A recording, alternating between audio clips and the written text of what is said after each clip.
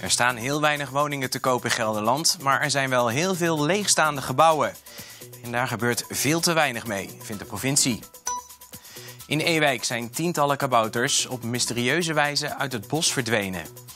En dan staat er nog eentje verloren daar op de grond. Die voelt zich nou een beetje eenzaam.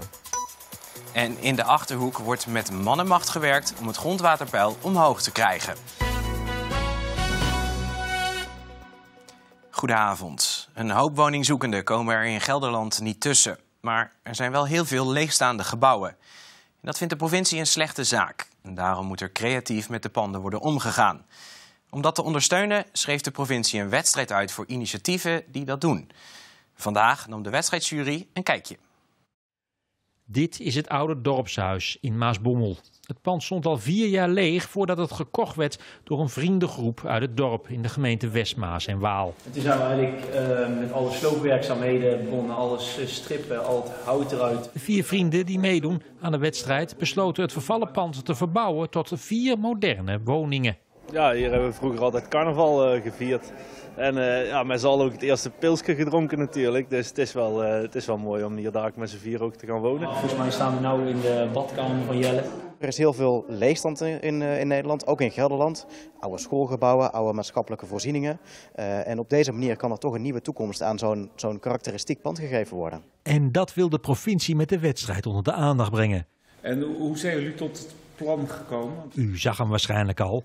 Niemand minder dan Bob Sikkers van het populaire tv-programma Kopen zonder kijken zit in de jury. Ik vind het een behoorlijke, behoorlijke verbouwing als je dat met z'n vieren doet als iets wat je naast je werk doet.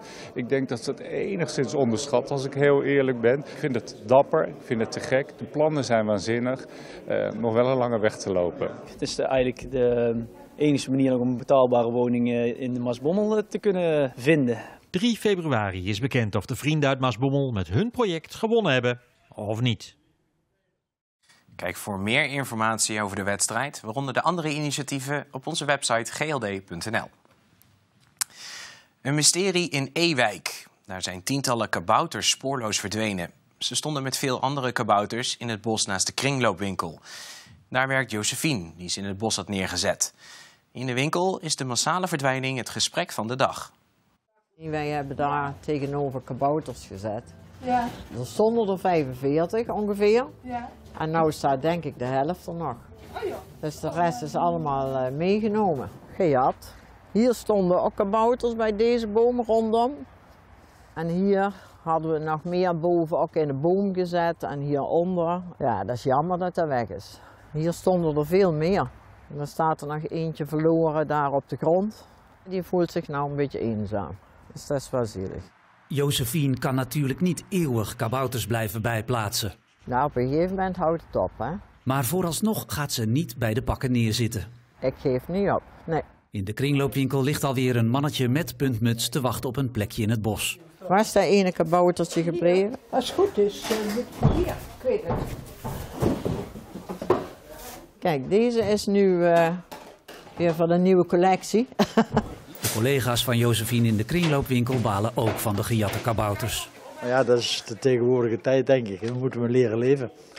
Wie had dat nu gedacht? Een kabouterkidnapper in Ewijk? Ik weet niet wie het doet, maar ze zijn in ieder geval weg. En misschien zijn ze wel in het bos verdwenen. Wie weet waar ze naartoe gegaan zijn. Dus, mocht u zelf nog een kaboutertje voor Josephine over hebben... Laat alle kabouters maar deze kant op komen. Daar zijn we heel blij mee en een hoop kinderen ook, denk ik. Het is nog steeds kurkdroog in de Achterhoek. En dus wordt er hard gewerkt om het grondwaterpeil hoger te krijgen. Bijvoorbeeld met zogeheten droogtestuwen. Die moeten regenwater vasthouden voor droge periodes. En vandaag werd in Beltrum de 200ste geplaatst. Boer Benny kijkt geïnteresseerd toe. Afgelopen zomer had hij opnieuw weinig opbrengsten van zijn gewassen. Hij hoopt dat deze droogtestuw zijn werk gaat doen. Ik ben er wel blij mee. Maar de zandgrond, uh, je houdt er geen water in vast. Ik denk, ik moet allemaal maar uh, uitproberen hè. Als het wat wordt. Maar het, uh, het scheelt altijd. Alle kleine beetjes helpen. Tal van Achterhoekse boeren willen dit soort stuwtjes in de sloten rondom hun landerijen. Er zijn zelfs wachtlijsten. Boeren zien namelijk dat het werkt. Ja, dit, dit gaat echt om uh, aan decimeters uh, dat je het grondwaterpeil omhoog uh, kunt krijgen. En dat moet ook, want de grondwaterstanden zijn heel laag uitgezakt. Dus om het weer in die wortelzone te krijgen, moet het echt een aantal decimeters omhoog. En dat kan met dit soort maatregelen. Maar nogmaals, er moet er wel water zijn. Het is dus zeker geen druppel op de gloeiende plaat. Nee, absoluut niet. Maar je moet het wel grootschalig toepassen. We hebben er nu 200. We verwachten uiteindelijk dat we er wel 500, 600 uh, moeten plaatsen. En dat geeft boer Benny hoop. Ja, daar worden we wel enthousiast van. We moeten toch wat. Dus uh, de grote beek en jammer dat uh, dat water allemaal wegloopt. Straks, bij winst van het Nederlands elftal, stroomt de Oranje Rotonde in Apeldoorn vanavond weer vol. En dat is een traditie die al tientallen jaren geleden begon. Beetje vuurwerk, beetje gekkigheid, natuurlijk een beetje lawaai, muziek. Dat hoort erbij. De weg tussen Aalten en Varsenveld is een groot deel van de dag afgesloten geweest door een ernstig ongeluk. Een 24-jarige automobilist uit Varsenveld probeerde in te halen, maar dat ging mis. Hij botste op een vrachtwagen. Door de klap zijn de automobilist en het motorblok uit de auto geslingerd. De man raakte daarbij zwaar gewond. De vrachtwagen werd bestuurd door een 28-jarige man uit Winterswijk. Hij bleef ongedeerd. Joris Bengevoort blijft de komende jaren burgemeester van Winterswijk. Hij is door de gemeenteraad voorgedragen voor een nieuwe termijn van zes jaar. Bengevoort is geboren en opgegroeid in Winterswijk en werd er in 2017 burgemeester. Hij was toen als 32-jarige de jongste burgemeester van Nederland. Goudbekken, seizen en insecteneters. Het zijn namen van dieren die je tegenkomt op een vogelshow. Maar die shows worden de laatste jaren vaak afgelast vanwege vogelgriep. In Afferden ging de show vanochtend wel van start, maar het blijft spannend of je het hele weekend door kan gaan. Kleine kooitjes, grote kooitjes en hele volières gevuld met felgekleurde fladderaars. Voor de liefhebbers is zo'n vogelshow een belangrijk deel van de hobby. Kijk, hier zitten dik 600 vogels. En dat is uh, voor alleen voor cultuurvogels. Kijk, als je nog kanaries en dergelijke hebt, maar dit alleen cultuurvogels en dergelijke, dat is toch enorm mooi. Als het je hobby is, dan vind je het gewoon leuk om uh, daar te zijn. Wat zeg maar toch een beetje een hoogtepunt is van een jaar om naar zo'n show te komen. Maar door vogelgriep staan deze shows onder druk. De afgelopen maanden zijn meerdere afgelast, maar daar laat de organisatie zich niet door uit het veld slaan. Je kiest ervoor om gewoon door te gaan. En dan weet je, ja, het, het kan op slot gaan. Het kan vervoerspoort zijn. Ja, dat, dat weet je. Het is koffiedik kijken. De website met vervoersverboden voor vogels wordt meerdere keren per dag geraadpleegd. Als in de buurt vogelgriep wordt vastgesteld, moet ook deze show voortijdig stoppen. Maar dan nog hebben de liefhebbers in elk geval deze dag al meegepakt. Vogels zijn gekeurd. Mocht ze zoals morgen vroeg eruit moeten. We hebben onze inzenders hebben prijzen. En ja, en ja dan, is het, dan is het niet anders. Ja, wat in ieder geval ook doorgaat, is het concert van Volbeat vanavond in het Gelredoom. Maar uitverkocht is het niet. En vanwege de wedstrijd van Oranje staan er ook nog ruim 100 kaarten te koop op Ticketswap.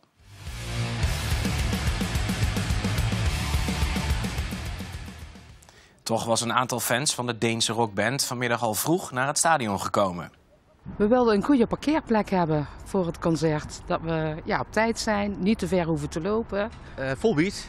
Ja, daar, daar, kom ik voor, ja. Ja, klopt. Wat is zo mooi aan Volbeat? Uh, gewoon de muziek, de entourage. Ze zijn gewoon live hartstikke goed. Die band is, is live uh, geweldig. Gewoon geweldig om, te, om, om te zien, zeg maar. Ja, doet echt wat met je. Ja, absoluut. absoluut. Ja, er hangen geen grote schermen om de wedstrijd van het Nederlands elftal op te bekijken. Maar dat maakt de fans eigenlijk weinig uit. Ja, het zij zo hè, dat dat samenvalt. Maar we hebben de telefoon, we kunnen altijd kijken wat de stand is. Dit is belangrijker. Voetbal niet Nederlands elftal is niks. Sorry. ja, voetbal. Ik, ik, hoop dat ze erdoor komen vanavond. Maar dan zien we de halve finale wel weer. Ik bedoel, uh, dit is uh, veel mooier op dit moment.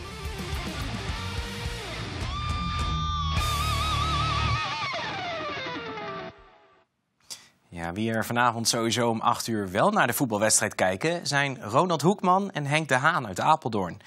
Zij zijn de twee grondleggers van de Oranje Rotonde in Apeldoorn... die na elke overwinning volstroomt. De traditie ontstond 24 jaar geleden.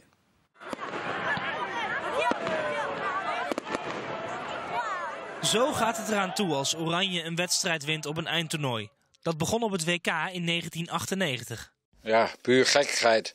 Ik zei, er was een oranje auto en daar hebben we het dak vanaf gehaald en toen zijn we rondjes gaan rijden. Ik kwam bij de rotonde, toen kwamen allemaal mensen kijken. Nou, toen, ja, 1 in 1 is 2, hè, dus gaan wij gaan rondjes rijden. Er waren nog geen kinderen, niks, dus uh, leven de lol was het toen gewoon. Flink suipen, met z'n allen altijd gek doen. Beetje vuurwerk, beetje gekkigheid, natuurlijk een beetje lawaai, muziek. Dat hoort erbij. Zelf zijn ze niet meer de drijvende kracht achter het feest, maar ze zijn blij dat de traditie door de jongere generatie in stand wordt gehouden. Ze doen het supergoed. We hebben het mooi aangepakt, alles goed versierd. Dus uh, dat is uh, wat ik zeg, naarmate het uh, toernooi vordert, hoe meer mensen er komen. Dus het ziet er allemaal top uit. Ja, of het weer volstroomt na de wedstrijd, dat zal vanavond blijken. Laten we eens zien wat voor weer het dan wordt. Nou, vanavond en vannacht zijn er opklaringen en tijdens die heldere momenten kan het afkoelen tot rond de min 5 graden. Op de momenten dat er nog wel wolken zijn, is het iets minder koud. Verder zijn enkele mistbanken mogelijk. Morgen en zondag is het wisselend bewolkt en komt de temperatuur smiddags iets boven het vriespunt uit. Het blijft overwegend droog, alleen morgenmiddag zou een lokale winterse bui over kunnen trekken.